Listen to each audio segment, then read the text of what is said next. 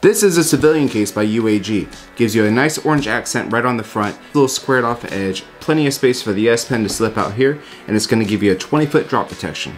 This is the Monarch Pro by UAG. It's going to give you a really rugged design, going to give you 26 feet drop protection, squared off edges, the fit is great, and it's going to give you MagSafe built on the back to use all of your MagSafe accessories like car mounts and chargers, etc. Also comes in red. This is the Plyo Pro, to give you 16 feet drop protection. It's a clear polycarbonate back with the TPU sides. And it's to have a clear back, letting you show off those pretty new colors for your S23 Ultra.